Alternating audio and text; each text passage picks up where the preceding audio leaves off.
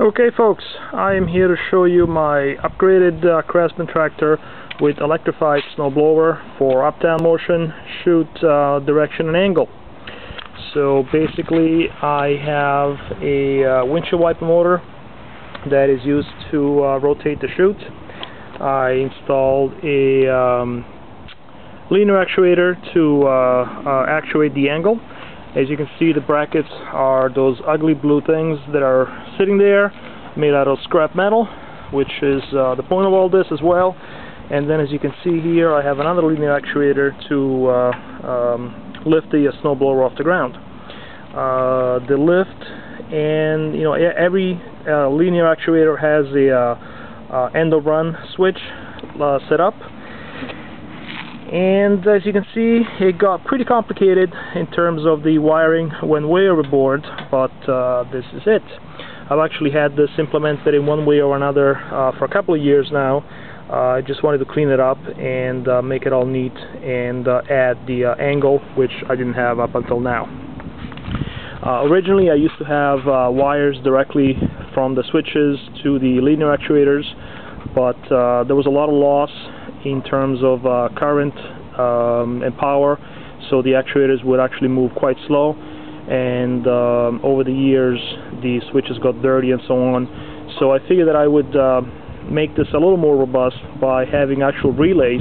That's what's inside this box right here that are located right at the snowblower so power comes to the snowblower through this uh, mega connector here and then controls come here through these uh, uh, setup here that actually control the relays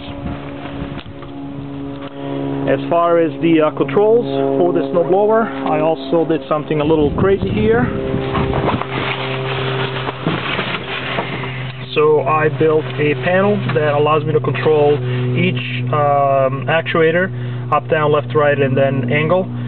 And so each one has a hard switch that I can set and uh, do other things while the uh, actuator is doing its thing.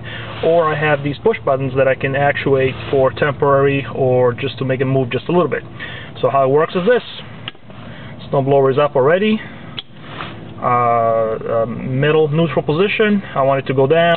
So now it's, it's going down can't see it, it's too fast and it stays down and at the same time I have disabled all the other switches uh, when it's in this mode so that there is no short circuiting because as you know the voltage needs to be uh, the polarity of the actuator needs to be uh, flipped in order to make it go.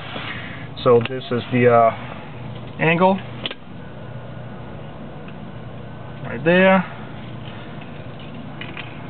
that windshield wiper motor has been there also for a couple of years so it works quite nicely. Or I can make it go just a little bit and then the angle up and down.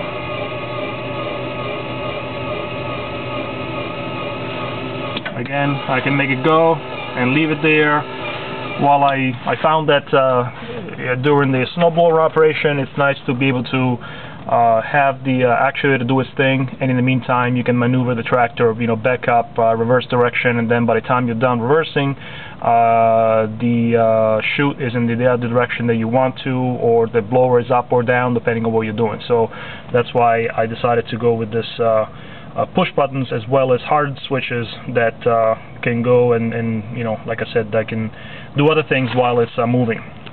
Another thing I did I've always had the desire to know what time it is first of all when I'm on my tractor, uh, whether it's summer or winter, as well as um, uh, especially in the winter time it's nice to know how cold it is outside while you're snow blowing.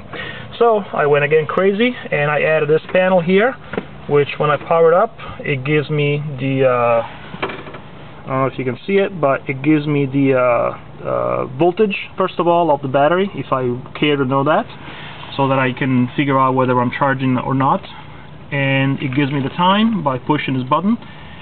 Seconds uh, voltage of the battery and again temperature. In Fahrenheit or uh, centigrades you can set it up. The switch up here is to change the uh, clock when I want to change that And then these two switches here are for external lights. This one is a front light, which I haven't added yet, and this one is for a backup, uh, a light that, that sits in the back of the tractor, which again I can turn on uh, if I'm snowblower in the uh, in the dark, uh, which can happen in the mor early mornings or if I happen to run late when I'm uh, mowing the lawn or something in the summertime, I can uh, I have some lights. And let me show you what those lights look like. This is the one in the back. An eBay special 18 watt uh, LED light. It looks very nice. I just put it on, so um, it, this is a flood type, and uh, it should give me some very nice light. And eventually I'll add another one that will sit right here on that black piece of plastic in between the two headlights. And that's it folks. I hope you like it. Chat soon.